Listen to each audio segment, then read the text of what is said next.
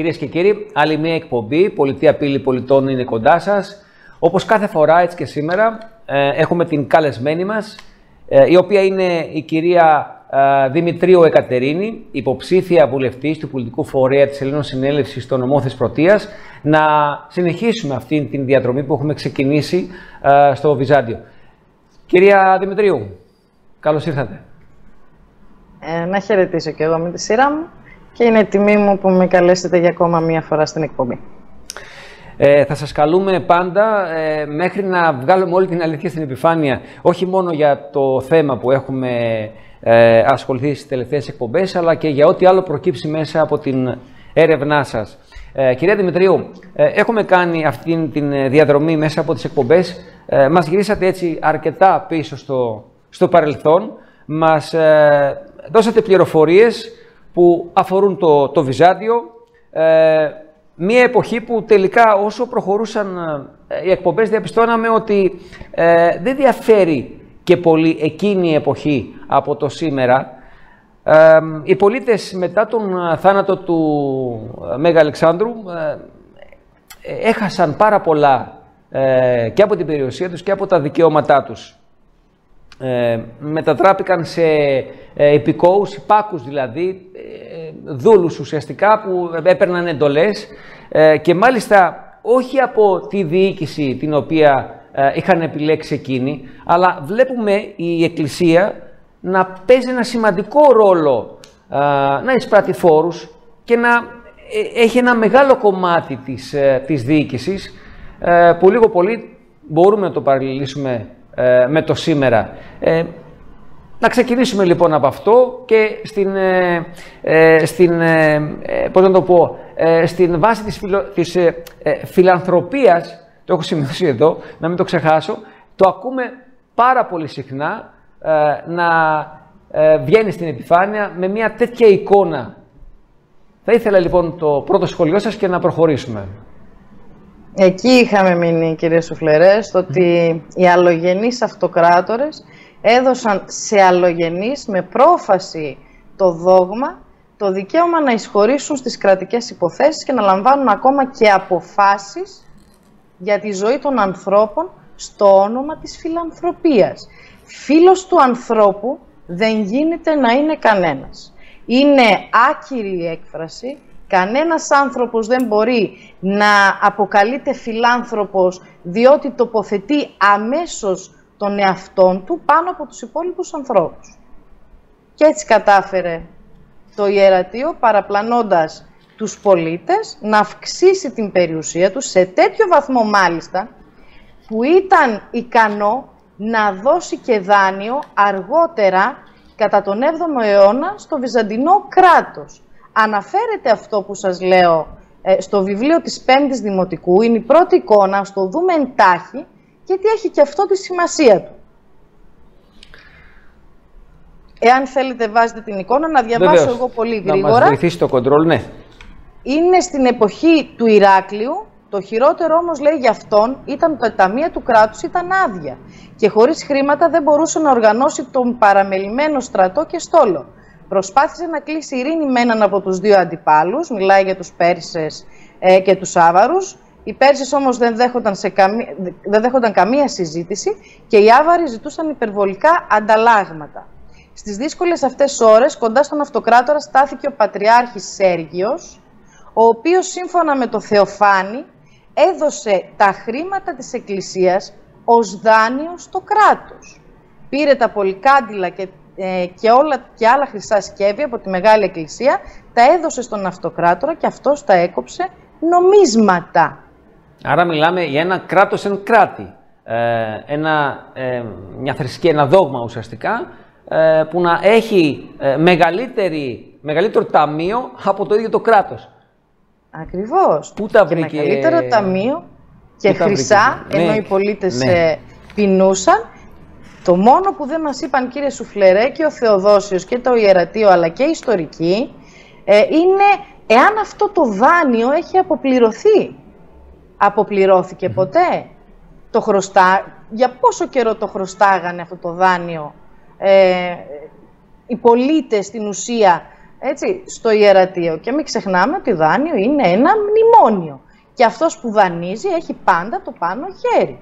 Ας το κρατήσουμε αυτό και ας συνεχίσουμε με τα γεγονότα που κατέστησαν το ιερατείο με τη δύναμη που του παρήχαν οι αυτοκράτορες κρατικό θεσμό.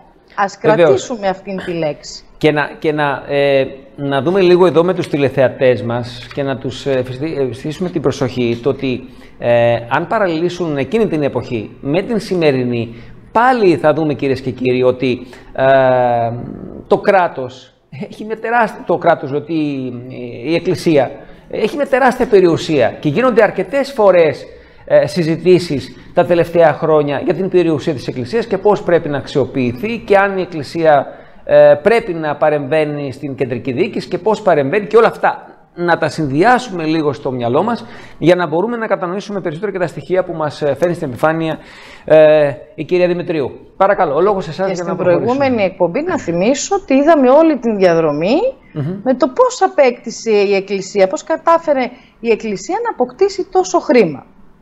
Γι' αυτό και παροτρύνουμε όπως... όλους τους τηλεθεατές να γυρνάνε πίσω και να βλέπουν εκπομπές για να συνδυάζουν τα στοιχεία. Παρακαλώ, να μην σας τρώω το χρόνο. Εγώ θα κρατήσω και κάτι που είπατε ε, στην αρχή στον πρόλογό σας. Οι τακτικές τους δεν διαφέρουν. Οι τακτικές του τότε δεν διαφέρουν με τις τακτικές του σήμερα. Ναι. Σε μια πολιτεία αμυγός δημοκρατική και με ίσες ευκαιρίες πλούτου για όλους, δεν υπήρχε λόγος για ελεημοσύνη ή για φιλανθρωπία. Δεν υπάρχει λόγος το ιερατείο να συγκεντρώνει χρήματα προς βοήθεια κανενός. Διότι η κάλυψη των αναγκών είναι υποχρέωση μόνο της πολιτείας. Αυτή είναι η τεράστια διαφορά που έχουμε εμείς σήμερα από τους προγόνους μας. Δεν είχαν ανάγκη ελιμοσύνης οι προγονείς μας από κανέναν, δεν ήταν υποχρεωμένοι σε κανέναν, διότι η πολιτεία τους διασφάλιζε την ευζοία τους, την παιδεία τους, την οικονομική τους ευημερία, τη συμμετοχή τους στα κοινά, τη συμμετοχή τους στις αποφάσεις για το Δήμο τους. Και δεν ήταν αμαρτία να είναι οι πολίτες οικονομικά άνετοι.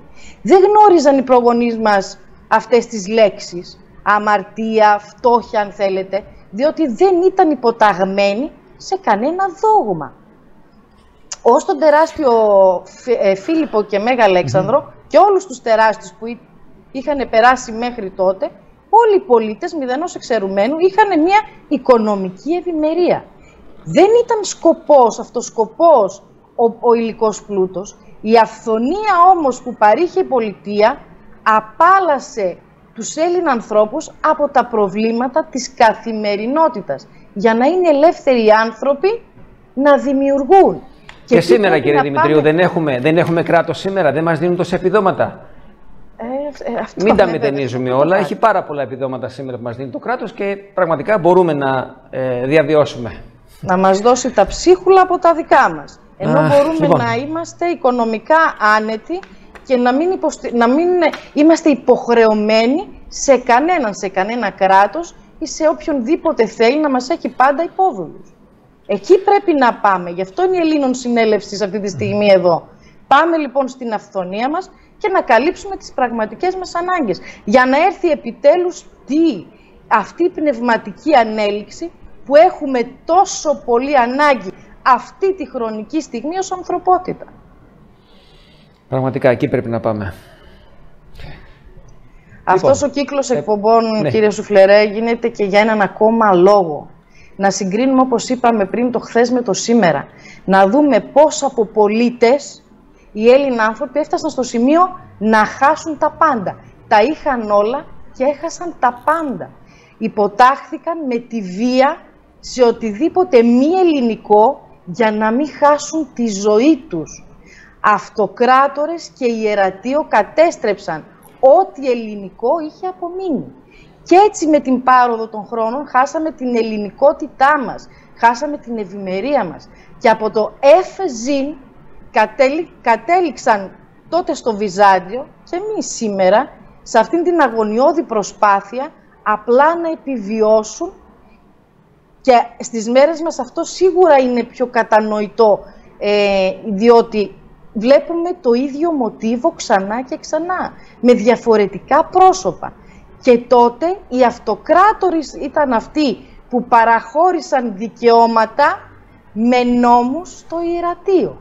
Ας δούμε σε αυτό το σημείο και το σήμερα. Ας δούμε λοιπόν κάποιες εξελίξεις των τελευταίων ημερών και έχω δανειστεί στοιχεία από την έρευνα της κυρίας Εφρεμίδου, θα μας βοηθήσουν σήμερα να, να κατανοήσουμε δικαιότερα τι συμβαίνει στη χώρα μας. Θα παρακαλέσω να βάλετε το σύνδεσμο με την ανακοίνωση του Υπουργείου Παιδείας με ημερομηνία 22 ε, Εβδόμου του 2022 με τίτλο «Νομοθετικές ρυθμίσεις Υπουργείου Παιδείας και Θρησκευμάτων για τις μουφτίες». Και τι αφορά; Αφορά μία ολοκληρωμένη μεταρρύθμιση για τη δημιουργία μιας σύγχρονης μουφτίας με επικεφαλής τον μουφτή που θα απολαμβάνει το κύρος που αντιστοιχεί στη θέση του δρομολογείται με τις νέες νομοθετικές ρυθμίσεις του Υπουργείου Παιδείας και Θρησκευμάτων που κατατέθησαν σήμερα στην Βουλή. Τα μεγαλύτερα ε, νομικά εγκλήματα τελικά έχουν ξεκινήσει μέσα από το Υπουργείο Παιδείας. Να διαβάσουμε εντάχει. Τι αφορά. Οι νομοθετικές ρυθμίσεις προβλέπουν Πρώτον, ένα πλήρες πλαίσιο για την οργάνωση και λειτουργία της μουφτίας, με προβλέψεις για τη στέγασή τους, για την ασφάλεια, για τη μεταφορά ανθρώπινου δυναμικού, για τις μετακινήσεις, για κάλυψη εξόδων για τις εργασίες τους, για έκδοση εντύπων κτλ. Με τον τρόπο αυτό προωθείται καθοριστικά οικονομική ανεξαρτησία του θεσμού, ενώ παράλληλα διευκολύνεται το συνολικό έργο μουφτίων και μουφτίδων, ενισχύεται η εικόνα και το κύρος τους. Δεύτερον, μετατόπιση της έμφασης σε αντίθεση με ό,τι ίσχυε μέχρι σήμερα από το πρόσωπο του μουφτή στο θεσμό της μουφτίας. Δεύτερη φορά η λέξη θεσμός. Την καλή λειτουργία της οποίας προωθεί, ενισχύει και εγγυάται η πολιτεία. Και πάμε στο τρίτο που είναι και η ταφόπλακα. Σαφής περιγραφή της τριπλής ιδιότητας του μουφτή στη χώρα μας. Θρησκευτικού λειτουργού. Πρώτον. Δεύτερον επικεφαλής δημόσιας υπηρεσίας και λειτουργού με δικαιοδοτικές αρμοδιότητες. Οι συνυπάρχουσες τρεις αυτές ιδιότητες στο ίδιο πρόσωπο επιβάλλουν μία ξεχωριστή ευθύνη της πολιτείας σε σχέση με τον τρόπο επιλογής και λειτουργίας τους. Ακούσατε κύριε Σουφλερέ; Αυτό πραγματικά είναι ανήκουστο, αλλά ε, τόσα έχουμε ακούσει από την ε, πολιτεία μας. Ένα ακόμη. Πραγματικά εδώ τι να προσχολιάσουμε. Δίνεται μία τριπλή ιδιότητα σε έναν αλλογενή θρησκευτικό λειτουργό και μία από αυτές είναι επικεφαλής της δημόσιας υπηρεσίας ποιας δημόσιας υπηρεσίας που δεν ονομάζουν. Και θα αποφασίζουν αυτοί για τις ζωές των πολιτών. Καταλαβαίνουμε τι συμβαίνει σε αυτήν τη χώρα επιτέλους. Και η ανακοίνωση, κύριε Σουφλερέ, τελειώνει με το εξής. Στόχος της νομοθετικής αυτής πρωτοβουλίας είναι η δημιουργία ενός θεσμού που λειτουργεί με εγγυήσεις νομιμότητας διαφάνειας, ανεξαρτησίας, αποτελεσματικότητας, με επικεφαλής πρόσωπα κύρους, στους οποίους η πολιτεία εξασφαλίζει τις βέλτιστες δυνατές συνθήκες επιτέλεσης των καθηκόντων, διαθέτοντάς τους επαρκή οικονομική και υλικοτεχνική υποστήριξη. Επιλύονται κρεμότητες δεκατεών με πλήρη σεβασμό στις διεθνείς συνθήκες, το ευρωπαϊκό κεκτημένο και το θρησκευτικό αίσθημα των μουσουλμάνων συμπολιτών μας. Τους δίνει τα πάντα ουσιαστικά ε, το κράτος. Τους βοηθά να έχουν τα πάντα. Κύριε Σουφλερέ, μιλούν για νομοθετική πρωτοβουλία. Και σε αυτό, συνέλληνες, είμαστε όλοι συνυπεύθυνοι. Γιατί ψηφίζαμε κόμματα τα οποία όταν μπαίνουν στην Βουλή βάσει του συντάγματος έχουν την νομοθετική εξουσία και ψηφίζουν νόμους. Νόμους που θα κάνουν ακόμα και έναν αλλογενή θρησκευτικό ηγέτη επικεφαλή δημόσιας υπηρεσίας με ευθύνη της πολιτείας και θα δημιουργήσουν και ένα θεσμό στον οποίο η πολιτεία θα συνδράμει και οικονομικά την ίδια ώρα που οι Έλληνες οικονομικά αιμορραγούν. Και επιπλέον, όποιο λεξικό και να ανοίξετε, να θυμίσω αυτήν τη στιγμή τι σημαίνει θεσμός. Θεσμός είναι αυτό που έχει τεθεί και ισχύει ως δίκαιο. Φέρεται με κύρια σημασία ως κανόνας δικαίου, νόμος. Επίσης, φέρεται και ως σύστημα το οποίο δημιουργεί ηθική και νομική κατάσταση. Βλέπουμε λοιπόν το ιερατείο κυρία Δημητρίου να παίζει πάλι σημαντικό ρόλο στην ε, καθημερινότητά μας, ε, όπως γινόταν και τότε, την εποχή του, του Βυζαντίου. Ε, να πάμε όμως σε ένα μικρό διάλειμμα και να επιστρέψουμε αμέσως στην ε, πολύ σημαντική κουβέντα μας. Ήρθε η ώρα της αναγνώρισης. Ο Ελάνιος Κόσμος 600, πρώτη έκδοση. Ο Ιερός Κωδικός Αριθμός και η Δομή, η σύσταση του κόσμου 600. Το μοναδικό βιβλίο βιωματικής ανάλυσης που έχει γραφτεί για την ανθρωπότητα, για να καλύψει και να απαντήσει όλα τα κενά και τα ερωτήματα για τη δημιουργία του κόσμου. Τώρα ήρθε η ώρα. Ορίμασε ο καιρός να εμφανιστεί η ανάλυση και η διάσπαση του Ελάνιου Κόσμου 600, Αρτέμις Ώρας. Ένα βιβλίο μοίησης και αναγνώρισης της αλήθειας, γραμμένο κάτω από συνθήκες ομοιρίας του ίδιου του δημιουργού, 13 Δεκεμβρίου 2018. Όλοι μπορούν να αναγνωρίσουν το μεγαλείο του κόσμου τους ως μοναδικό, αληθινό, δικό τους μεγαλείο, Αρτέμις Ώρας. Κάνε την παραγγελία σου τώρα και πάρε στα χέρια σου το βιβλίο «Ο Ελάνιος Κόσμος 600» με το δικό σου μικρότερο αριθμό σειράς που είναι μοναδικός από την πρώτη έκδοση. Παρήγγειλέ το στο www.κοσμοθέαση.com Επιστρέψαμε κυρίες και κύριοι στην ε, πολύ σημαντική κουβέντα μας εδώ με την ε, κυρία Δημητρίου. Ε, βλέπουμε λοιπόν κυρία Δημητρίου το ιερατείο να παίζει πάλι έναν σημαντικό ρόλο ε, για όλους εμάς τους πολίτες. Ακριβώς. Και στην προεκλογική περίοδο ο κύριος Μητσοτάκης ήταν ξεκάθαρος για αυτήν την πρωτοβουλία όπως έχει δηλώσει Και επειδή αυτό το επικεφαλής δημόσιας υπηρεσίας ξυπνάει τις μνήμες του Βυζαντίου, ας τον ακούσουμε να θυμηθούμε λίγο τι είπε και πώς το είπε και να το σχολιάσουμε. Δικιά μου πρόθεση, ε, δικιά μου βούληση είναι να δημιουργήσω ένα μουσουλμανικό συμβούλιο παρά το Πρωθυπουργό. Δικιά μου... Μάλιστα. Μας το είπε ξεκάθαρα, κύριε Δημητρίου. Ας θυμηθούμε σε αυτό το σημείο και το νόμο 4622 του 19 που τον γνωρίζουμε ως το νόμο το, το επιτελικό κράτος, να θυμηθούμε λίγο το άρθρο 11, όπου ο θεσμός του Πρωθυπουργού συγκεντρώνει υπερεξουσίες και ας τα συνδυάσουμε όλα. Γιατί Συμβούλιο παρά το Πρωθυπουργό, Μουσουλμανικό Συμβούλιο παρά το Πρωθυπουργό, εκτελεί αυτά που θα εκτελεί και ένας Πρωθυπουργός. Είναι, είναι πολύ σημαντικό αυτό πραγματικά που μας το λέει ξεκάθαρα. Αλλά πριν, πριν πάμε σε αυτό, θα μας βοηθήσει το κοντρόλ να το βρούμε. Ε, γνωρίζουμε όλοι ότι ε, οι, οι, άνθρωποι οι οποίοι πιστεύουν, είναι μουσουλμάνοι ουσιαστικά σε, αυτό τον, σε αυτή τη θρησκεία, είναι σκυροπυρηνικοί. Βλέπουμε εικόνες το πώς ε, γίνεται χρήση αυτής της θρησκείας ε, και, το, ε, και το πόσο απόλυτη είναι σε κάποια πράγματα. Ε, θα ήθελα ένα σχόλιο πάνω σε αυτό. Τα τελευταία χρόνια, ναι. Όταν άρχισε ξανά να επικρατεί η Σαρία στις ανατολικές ε, ε, χώρες, ε, ο μουσουλμανισμός δεν ήταν έτσι παλιά. Το 60 και το 70 οι γυναίκες των μουσουλμάνων ήταν, ε, συμπεριφέρονταν και ντυνόταν ακριβώς όπως και στο δυτικό κόσμο.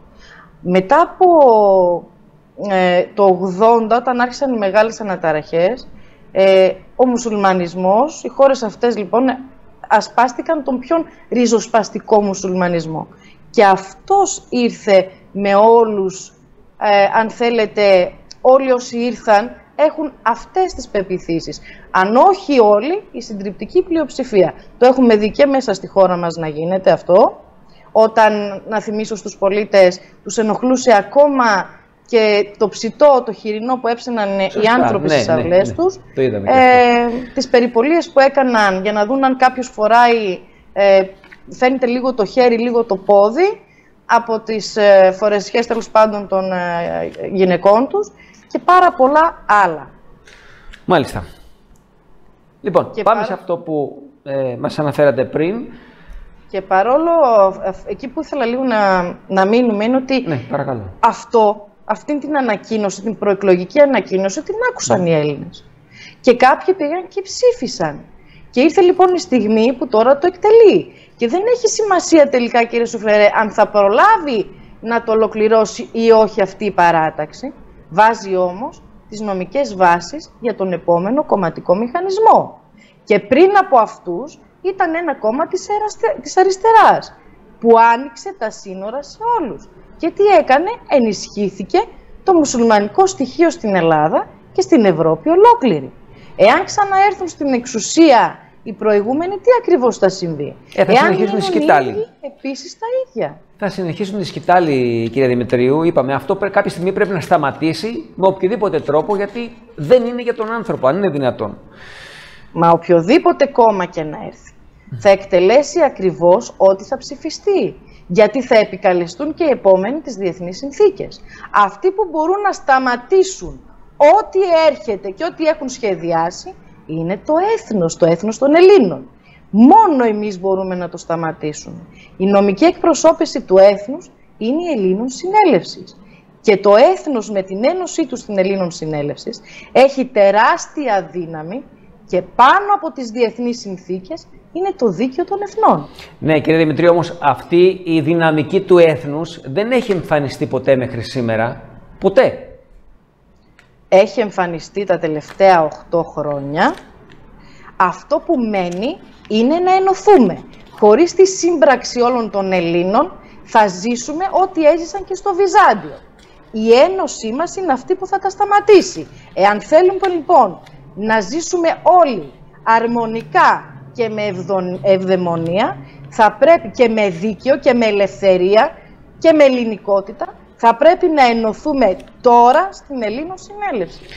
Για να φτάσουμε στο σύνολο ε, των μονάδων που αποτελεί το έθνος, ε, έχει πάρα πολύ δρόμο, πραγματικά. Και πρέπει να ξεπεράσουμε πάρα πολλά ε, στεγανά. Πρώτα απ' όλα είναι η γνώση. Αυτό που μας δίνετε σήμερα εσείς είναι μια γνώση που μέχρι σήμερα ε, πολλοί από εμά δεν το γνωρίζαμε. Γι' αυτό γίνονται, όπως είπατε, οι εκπομπές, για να βγάλουμε αυτήν την αλήθεια. και, τι, και τι κάνει η αλήθεια; Βλέποντας λοιπόν την αλήθεια, θα, δεν θα πράξουμε ξανά τα ίδια λάθη. Φεύγουμε από την λύθη και πάμε στη γνώση. Την χρειαζόμαστε αυτή τη γνώση για να μπορούμε να προχωρήσουμε. Πάμε σε αυτό που ζητήσαμε από το control και είμαστε έτοιμοι να το δείξουμε στους ε, τηλεθεές μας. Έχουμε κάνει πάρα πολλές εκπομπές για το Βυζάντιο και όπως είπαμε συμβαίνει ακριβώς το ίδιο.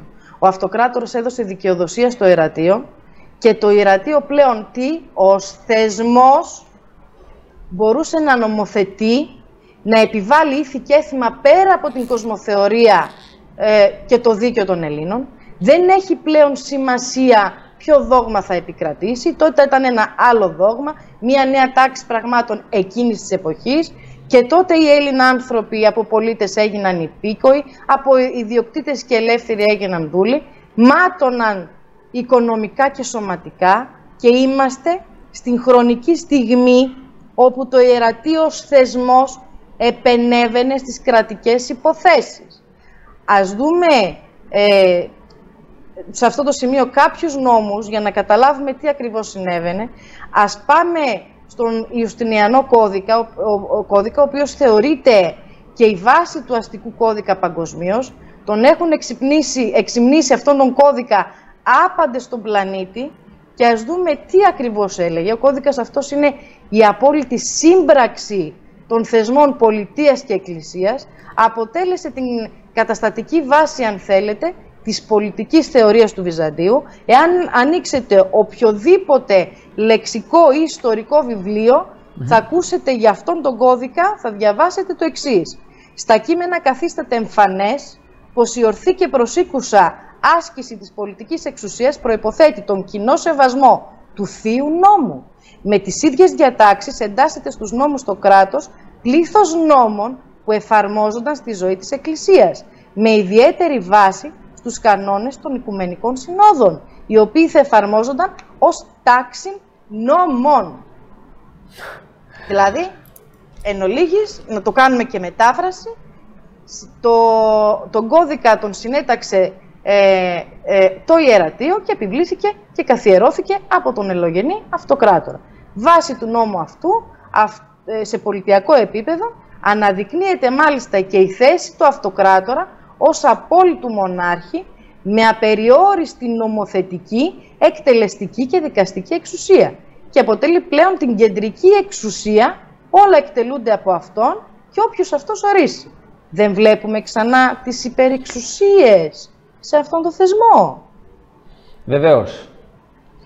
Ε, θα, θα πάμε λίγο στο βιβλίο της ιστορίας της πρώτης Λυκείου, να δούμε κάτι πολύ πολύ συγκεκριμένο πριν πάμε στο νόμο. Είναι εικόνα 2. Είναι πολύ σημαντικό να το δείξουμε αυτό. Τι λέει μέσα; Επιβλήθηκε, λέει, μία θρησκεία κατά τον Ιουστινιανό, έτσι. Μία θρησκεία και ένα δόγμα. Ο Ιουστινιανός αντιμετώπισε με σκληρότητα τα κατάλοιπα των αρχαίων θρησκειών. Και εδώ μιλούν για τον ελληνικό πολιτισμό και για να περάσει ακουστικά ε, πιο επικά κάνουν λόγο για αρχαία θρησκεία. Οι πρόγονοί μας δεν ήταν υποταγμένοι σε καμία θρησκεία, σε κανένα δόγμα. Για το λόγο αυτό έκλεισε, λέει, την Νεοπλατωνική Σχολή των Αθηνών και δίμευσε την περιουσία της. Εξόντωσε παράλληλα τις θρησκευτικές μειονότητες, με επίοικια όμως συμπεριφέρθηκε μόνο στους Εβραίους. Γι' αυτό και διατηρήθηκε η θρησκεία τους. Μάλιστα. Κατάλοιπα λοιπόν. Κατάλοιπα λοιπόν η γνώση. Μάλιστα. Κατάλοιπα η γνώση. Να μην ξεχάσουμε τώρα εδώ να πω κάτι, γιατί κόρακα σκορά κομμάτι μάτι δεν βγάζει. Το όνομα του Ιουστινιανού είναι ολόκληρο Φλάβιος Πέτρος Σαββάτιος Ιουστινιανός. Σαββάτιος ονομαζόταν ο πατέρας του. Είναι ένα εβραϊκό όνομα, προέρχεται από την λέξη, από την εβραϊκή λέξη Σαμπάθ, είναι αυτός δηλαδή που σχετίζεται με την ημέρα του Σαββάτου, αυτός που αναπάβεται, ε, δεν είχαν περάσει ακόμα τότε τα εβραϊκά ονόματα στους αυτοκράτορες, γιατί υποτίθεται ότι τους κυνηγούσαν τους Εβραίους και τους στέρισαν και κάποια δικαιώματα. Ε, τύχη σαφώς δεν υπάρχει, τους φέρθηκαν, είπαν με επίοικια. Την ίδια ώρα όμως που έσφαζαν τους Έλληνες. Εάν δεν υπάρχει συσχέτιση του ερατείου των αυτοκρατόρων με αυτήν την θρησκευτική μειονότητα, δεν ξέρω τι άλλο να πω. Υπουργείο Παιδείας και Θρησκευμάτων. Δεν θα σφάζε. Ε, σίγουρα. Υπουργείο Παιδείας και Θρησκευμάτων. Επομένως, μην περιμένουμε κάτι διαφορετικό στα βιβλία των παιδιών μας. Όχι βέβαια. Ας περάσουμε ναι. όμως να διαβάσουμε επιγραμματικά σήμερα κάποια αποσπάσματα μέσα από αυτόν τον κώδικα. Τολμούν να τον πούν και κώδικα. Νόμος είναι. Ένα συνοθήλευμα νόμων που είχαν περάσει ε, οι μέχρι τότε αυτοκράτορες να διαβάσω εγώ και να σχολιάσουμε αμέσως μετά. Λέει ο, ο αυτοκράτορας Κωνσταντιος. Αποφασίστηκε ότι οι ναοί έπρεπε να κλείσουν αμέσως σε όλα τα μέρη και της πόλης και ότι θα απαγορευόταν η πρόσβαση. Επιθυμούμε επίσης να απέχουμε από κάθε θυσία, αλλά αν κάποιος τυχαία διαπράξει κάτι τέτοιο, θα θανατωθεί από το ξύφος της εκδίκησης. Διατάσσουμε επίσης ότι με πόρους του Ταμείου θα εκδικηθούν και ότι κυβερνό, κυβερνήτες των επαρχιών θα τιμωρηθούν επίσης εάν δεν εκδικηθούν τα εγκλήματα.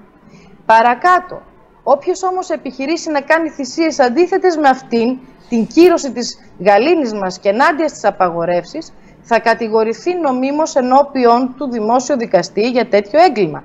Και αν καταδικαστεί, θα υποστεί την απαγόρευση των υπαρχόντων του και την απόλυτη τιμωρία. Πάμε και σε ένα κόμμα. Θέλουμε όμως τέτοια εγκλήματα να αποσκοπούν σε τέτοιο βαθμό ώστε, ακόμα και αν κάτι τέτοιο διαπράτεται σε κτήμα ή σπίτι άλλου, εν γνώση των ιδιοκτητών, το κτήμα ή το σπίτι θα προσθεθεί πράγματι στο ταμείο. Αλλά οι ιδιοκτήτες, για το μόνο λόγο ότι εν γνώση τους συνένεσαν να μολυνθούν οι χώροι τους από τέτοια εγκλήματα, εάν όντως είναι διακοσμημένοι με κάποια αξιοπρέπεια ή στρατιωτική θητεία, θα τιμωρηθούν με απώλεια τη στρατιωτική τους θητεία ή τη αξιοπρέπεια. και επίσης με την απαγόρευση της περιουσίας τους.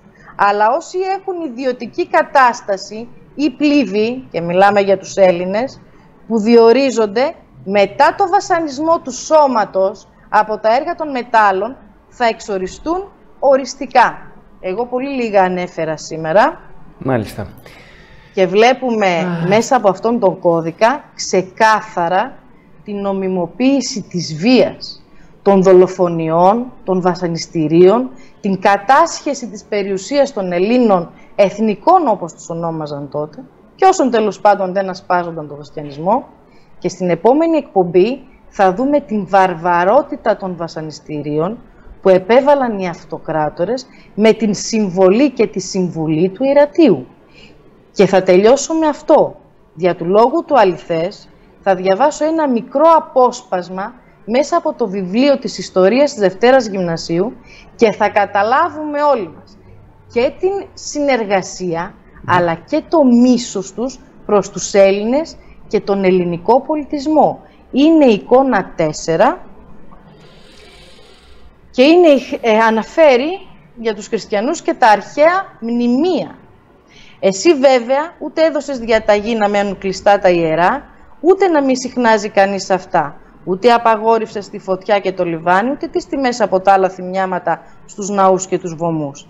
Οι μοναχοί όμως ορμούν στα ιερά, άλλοι κρατώντας ξύλα και πέτρες και σίδερα και άλλοι χωρίς αυτά με τα χέρια και με τα πόδια. Έπειτα όλα γίνονται λία των κατοίκων της Μυσίας. Καθώς γκρεμίζονται οι στέγες, ισοπεδώνονται οι τείχοι, συντρίβονται τα γάλματα, ξυλώνονται οι βωμοί, ενώ οι ιερείς πρέπει ή να συγγύσουν ή να πεθάνουν. Αυτό το έλεγε ο Λιβάνιος στο Θεοδόσιο και εννοούσε και αναφερόταν στους ναούς των Ελλήνων. Το Είναι το αποτέλεσμα. Είναι το αποτέλεσμα που βλέπουμε σήμερα σε όλους αυτούς τους ναούς των παππούδων μας, των προγόνων μας. Το απόλυτο μένος και μίσος προς τον ελληνικό πολιτισμό και τους Έλληνες θα το αποδώσουμε στην ακρίβειά του στην επόμενη εκπομπή, σας το υπόσχομαι. Ε, μας μαυρίσατε λίγο τη ψυχή σήμερα, μπορώ να πω, κύριε Δημητρίου, με όλα αυτά, αλλά είναι μια πραγματικότητα η οποία έχει ε, ένα μεγάλο κομμάτι ε, της αλήθειας, γιατί είναι αλήθεια όλα αυτά που, που αναφέρατε με στοιχεία. Είναι δίκαιο να γνωρίζει ο καθένας τι έχει προηγηθεί και φτάσαμε στο σήμερα, πώς δηλαδή το ιερατείο έχει τεράστια δύναμη ε, και το βλέπουμε στην καθημερινότητά μας. Γνώση και πάλι γνώση, για να έχουν γνώση φύλακες που, που λέμε. Κύριε Δημητρίου, σας ευχαριστώ και πάλι για τον χρόνο σας. Και εγώ σας ευχαριστώ. Γνώση, κάτι τελευταίο να κλείσω με αυτό, μου δώσατε πάσα. Η γνώση είναι αυτό που είπαμε, χρειάζεται για αυτό που είπαμε ακριβώς πριν. Να μην επαναληφθούν τα λάθη του παρελθόντος. Όταν κάποιος έχει τη γνώση, σίγουρα δεν μπορεί να κάνει τέτοια λάθη. Ε, άρα εδώ υπάρχει ένα κενό στην ε, γνώση. Καλή συνέχεια στο έργο σας. Να είστε καλά. Κυρίες και κύριοι, φτάσαμε στο τέλος και της σημερινής εκπομπής. Αυτό που προτείνουμε πάντα είναι να βλέπετε τις εκπομπές, να παίρνετε τα στοιχεία και να κάνετε τη δική σας έρευνα. Καλή συνέχεια σε όλους.